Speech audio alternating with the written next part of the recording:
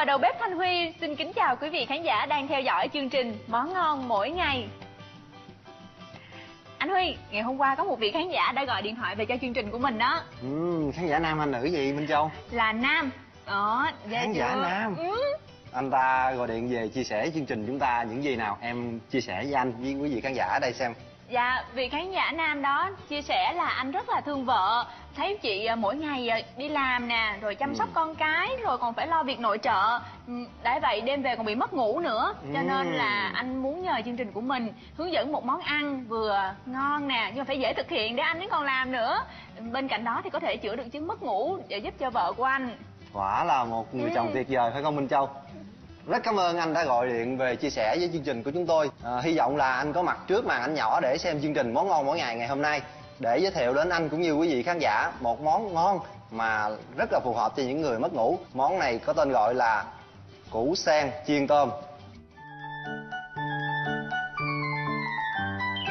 Để chế biến được món này chúng ta cần có củ sen, ngò rí, tôm, giò sống, trứng gà, bột xù, bột mì, ớt băm, hành tím băm, tỏi băm, đường, tiêu, hạt nêm argigon và sốt mayonnaise Lisa. Trước hết để chế biến món này thì chúng ta bào sạch củ sen, sau đó rửa sạch và chúng ta sẽ cắt lát mỏng. Anh Huy ơi, tại sao anh không chỉ cho Minh Châu và quý vị khán giả cách lựa củ sen ngon? Một câu hỏi rất là hay đó nha Minh Châu. Kính thưa quý vị và các bạn, để lựa củ sen ngon thì rất là đơn giản. Chúng ta lựa củ sen màu nhạt hoặc là màu trắng và củ sen to, tròn như thế này. Còn non là đảm bảo củ sen rất là ngon. À, Và khi cắt thì Minh Châu nhớ là cắt đừng dày quá. em nhớ rồi Tôm nè, Minh Châu rửa sạch, lột vỏ hết, Lột chừa đuôi. chừa đuôi. Chúng ta sẽ chẻ phần sống lưng. Đây, Đây. Chúng ta sẽ đập tôm dẹp ra như vậy. Sau khi tôm chúng ta đập dẹp ra, chúng ta sẽ ướp với một ít đường, Một ít đường tiêu Aji ngon Hành tím. Tỏi. Rồi, anh Huy cho em mượn đôi đũa em sẽ trộn lên cho anh Huy nha. Rồi anh giao phần này cho em nha. Rồi, Đúng rồi em sẽ trộn đều cho anh. Bây giờ thì chúng ta sẽ thêm da thêm thịt cho phần củ sen và nhân này được đẹp. Trước hết chúng ta sẽ dùng bột mì rắc một lớp mỏng lên cái dĩa. Đây. À, Chắc là anh phải nhờ em giúp thêm anh rồi.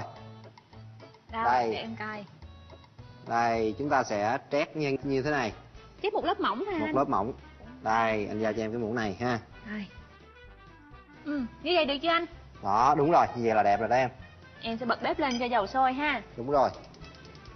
Bây giờ sau khi chúng ta trét một phần nhân lên một mặt củ sen này, chúng ta sẽ lấy tôm hồi nãy nè, À. để lên như thế này, Rồi chừa cái đuôi ra một chút xíu. Sau đó chúng ta lấy phần còn lại của miếng củ sen, chúng ta đè lên và chúng ta sẽ làm đều lại cái Wow. phần này cho đẹp. Như vậy là đã À. xong. Anh Huy à, sau khi đã hoàn tất rồi Tại sao anh vẫn chưa nói cho quý vị khán giả và Minh Châu biết là anh rắc bột mì lên dĩa làm chi vậy? Em nói thì anh sẽ rắc thêm một lớp nữa cho Minh Châu xem. Hả? Đây, chúng ta sẽ rắc thêm một lớp bột mì lên trên nữa. Mục đích là chúng ta sẽ áo một lớp bột mì lăn qua trứng và lăn qua bột xù. Như vậy thì cái bột này là một lớp dính để À. giúp cho củ sen nó được dính bột xù nhiều hơn. Tiếp tục chúng ta sẽ đập trứng ra. Dùng đũa quậy đều lên. Chắc cái này là dễ mà, em quậy được đúng không? Vậy như vậy được chưa anh? Rồi, anh nghĩ là được rồi. Giao nhiệm vụ cho em làm tiếp đây. Đơn giản lắm. Em chỉ cần cầm cái này lên, nhúng vậy hai bên vậy được rồi Rồi, sau đó cho qua bột xù và để cho món này được đẹp khi mà chúng ta áo qua bột xù chúng ta chừa phần đuôi tôm ra không phải nhúng bột xù vô bây giờ thì dầu cũng đủ nóng rồi Minh Châu à. Chúng ta chiên thôi. Đối với món này thì các bạn nên chiên dầu ngập và chúng ta sẽ canh dầu có độ nóng vừa phải. Vì khi ờ, chiên mà dầu nóng quá thì dễ bị khét lớp bột bên ngoài nhưng mà bên trong thì tôm chưa chín. Khi chúng ta chiên tôm vừa đủ độ chín tới chúng ta tăng lửa lên một chút xíu để cho dầu nóng thật là nóng lên. Như vậy chúng ta vớt ra thì cái miếng tôm được giòn và không bị dính nhiều dầu. Wow, Bây giờ trong lúc đợi củ sen giòn và vàng. Tôi sẽ hướng dẫn quý vị cách làm sốt chúng ta ăn kèm. Chúng ta chỉ cần sử dụng sốt mayonnaise Lisa Ngò và ớt. Chúng ta băm nhuyễn cho vô một ít. Ừ.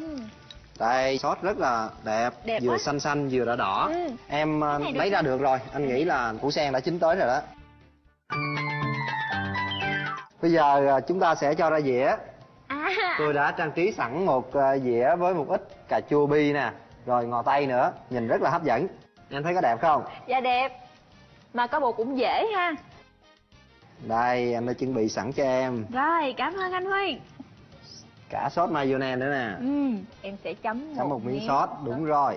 Đó. Đó Rồi, rồi rồi, em ăn nha. vô xem nào. Quá giòn đúng không? Ừ. Điều đầu tiên mà anh Huy cũng có thể cảm nhận được và quý vị cũng có thể cảm nhận được đó là Minh Châu thấy rất là giòn. Anh Huy có nghe cái tiếng nhai rất là giòn tan đúng không chính nè? xác Đã vậy nha, ở bên trong á, giò sống và tôm quyện vào với nhau rất là hấp dẫn.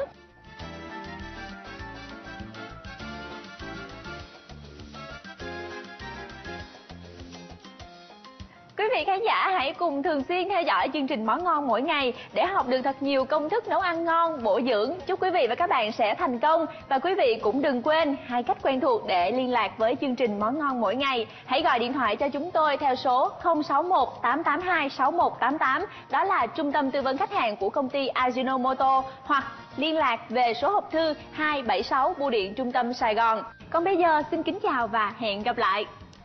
xin chào